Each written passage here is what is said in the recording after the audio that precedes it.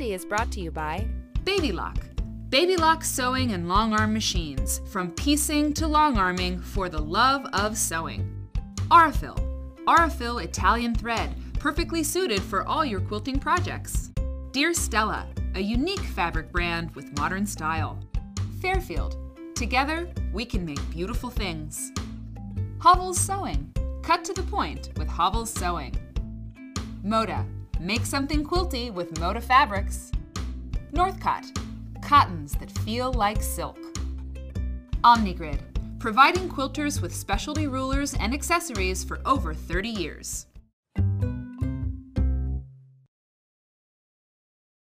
Hi, thanks for watching Quilty. This is part two of our hand quilting episode, Mom. Yes, and Wave- I. wave to the nice Yeah, people. hi, hi. We're going to show you how it's done. Yeah, we set up in the episode before. Now we are going to take our stitches. So if you haven't seen the first episode, you got to watch that one first. You'll enjoy it, and then you can move on to this one. Okay, Mom, where do we start? Okay, well, the white thread is my basting stitches, and um, I, I use uh, thread to baste my hand quilting quilts because I don't want the pins in the way. Normal thread, anything Just, special? just basting, you know, kind of crummy thread you Sure. can use because you're going to throw. And as I go along, I cut it and get it out of my way. Mm-hmm. And so um, I've got several needles started because I want to show different parts of this process. Sure. I've got my work all nice and tight in the hoop.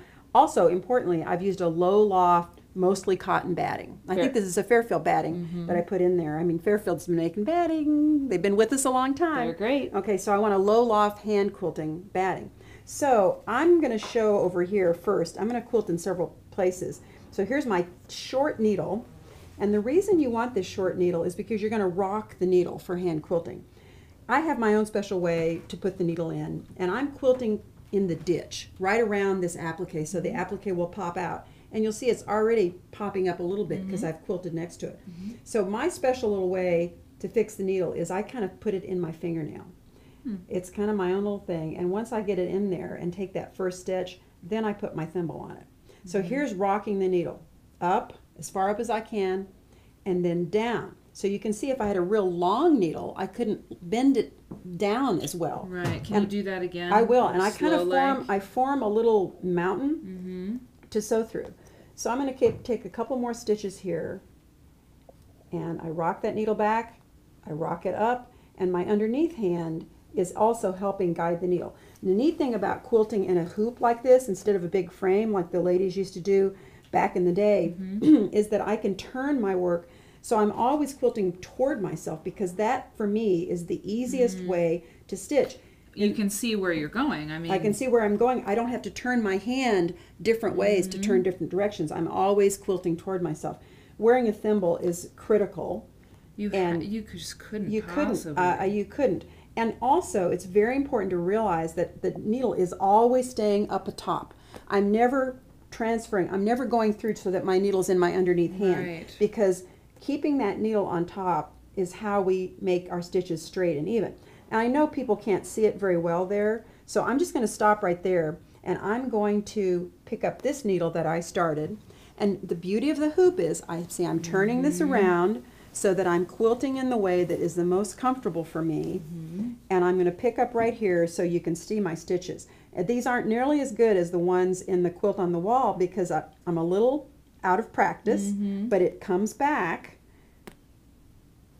Okay. Can you show just right there before Yeah. you pull it through? So I load the needle and sh- let me see that little rubber disk Mm-hmm. because once you load the needle, sometimes it's really hard to pull it through. Yes. So this little, it's like a little jar opener.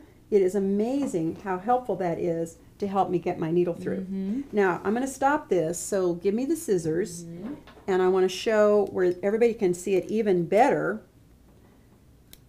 I'm going to make a knot, and you can see how I've marked these little flames. It's like on these on these hot, angry feathers. I have drawn, you know, like they're on fire and they're sort Hmm. Oh. of they're steaming. it's this here. Mhm.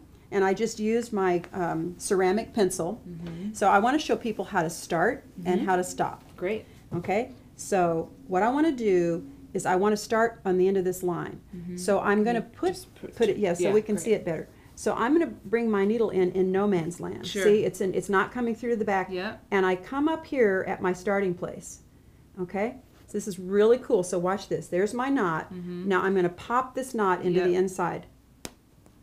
And it, yep, you can just make it live in no man's land. There. See, it's in there, but I didn't pull it all the way through. So you got to pop it and then put the brakes on. Mm-hmm. So I'm going to quilt a little ways with my own method. And when you have a curve like this, when you're going straight, you can kind of load the needle more. But if you're curving, you want to just take a few stitches, just like slowing down when you go around a curve in a little sports car. You want to ah. slow down. And so I know my hand probably covered that. So I'm not taking a lot of stitches, but I'm turning my hoop. Now here's a little straightaway. So I can go on the straightaway and let me speed up a little bit.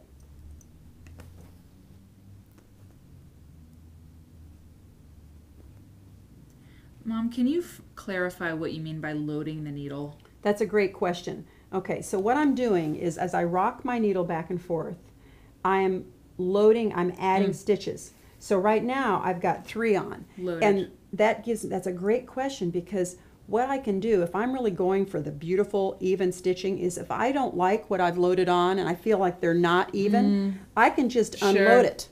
I can take them out mm-hmm. and I can start over. So, um, you know, and I feel like the, the quilting needle. These are this is a new needle that I put in. I swear, when I used to do a lot of hand quilting, when that needle got warmer from stitching and it sort of got shined up, it would it would just almost get lubricated That's and amazing. and would slide through. You know, Now, I'm gonna come. mhm. Yeah, that that's amazing. So so, but you need to make sure you're changing your needle. I mean, if you're doing a big quilt, it's gonna get dull, right? No, no, no. I would. I'd use one needle. I, I think my kind of famous quilts that I in competition, I used one needle, unless I would break it for some Great reason. to know. But look how beautiful Ugh. that is. with hand quilting you get a finish you get the hand it's the hand that's it is warming and it's it's it's working the the top and i mean it's it's an amazing It is, look and it, it looks different because what's really different about it from, and I love machine quilting, and I love machine quilters, and all my quilts these days are machine quilted. But you have a stitch and a space and a stitch and a space, and that's something that's hard to duplicate. It's a different animal. and the loft like there's something about the puff that you get with hand quilting now I wanna end. the best mm-hmm. yeah you want to end the mm-hmm. best hand quilters 16 inches 16 stitch per Well, inch no, or n- something well, I mean, I think it's been shown, but I mean, at my best, I could do about eleven stitches to the inch. But you know, I don't think a person needs to worry about either. that. You really, it's more important that they're even. That the s- Right. that, that, that let's let's They're the clarify right that, length. that the spaces are even and the mm-hmm. stitches are even Right. is far more important. Okay. So- Everybody wants to know how to end. Right. So I've come to the end of my little steam Mm-hmm. line, and I want to end. So I I make I take my needle and I I make a loop. So I'm just going to make a loop knot. See, I'm going I'm going through like this, and I make this knot. And see, with my needle, I can slide it down close to the surface. Okay. So and I'm tightening it, and then see, there's a knot. mm-hmm. Okay. So now I'm gonna I'm gonna hide that knot. I got to get my hand under here in no man's land again. Mm-hmm. To get my hand under here. Where is it? Where is it? Here we go. Okay. So I'm gonna take a fake stitch in no man's land in no man's, and it's going through. the It's, not coming to the back. mm-hmm. And I come along here, and I pop it in, and then. If you take a little, if you put a little pressure on it, hold up. You don't want to cut the top of your quilt Careful. is but if you pull up a little bit it just pops right back in there and if it doesn't you can go in no man's land again and slide it around. Yeah. so i used to teach this and i would sit by each student one by one as they did the rocking of the needle and i'd say it, I, it reminded me of teaching you guys to parallel park when you were learning to drive i'd say crank it a little farther a little farther left now you got it you got it pull it One of my earliest memories is sitting on your lap while you were hand quilting. Yeah. I remember leaning my head on your on your Yes. chest, hearing you talk. I remember. Well, and some of my favorite memories are when you all would read to me when I would be hand quilting. You'd all be we'd be reading the Babysitters Club. Oh my god. it Ah, was so great. much fun. Great. Those were the days. Those were the days. Okay. Oh, you- and oh, I forgot one thing. If you just cannot stand to wear a thimble, this is a really neat product. These come; these are little suede dots that have Mm-hmm. very sticky stuff on the back, and so you just take one off. I, I used to use these actually, and you it stays stuck to your finger. Amazing. Take that away. Take that away, and you just use that instead. That's so I mean, neat. you can push very hard on that thimble and not have it go through. I love it. Well, You Mom, might want to use one. I might want on my very own project. This was a uh, thing we did for Quilty a long time ago. We talked about basting and things with it. It's adorable and it's it's marked up, ready to be Yeah. to be hand quilted. Maybe I'll give it a shot. Um, maybe not based with the safety pins that you can, but they get in the way of the hoop. Well, yeah, you just got to move them around a little Yeah. bit. That works fine. Look at our In a hoops pinch. together. Yes, how fun. Try some hand quilting. You'll probably really like it. Bye. Quilty is brought to you by Baby Lock. Baby Lock sewing and long arm machines. From piecing to long arming for the love of sewing. Aurifil. Aurifil Italian thread. Perfectly suited for all your quilting projects. Dear Stella. A unique fabric brand with modern style. Fairfield. Together, we can make beautiful things. Havel's Sewing. Cut to the point with Havel's Sewing. Moda. Make something quilty with Moda fabrics. Northcott. Cottons that feel like silk. Omnigrid. Providing quilters with specialty rulers and accessories for over 30 years.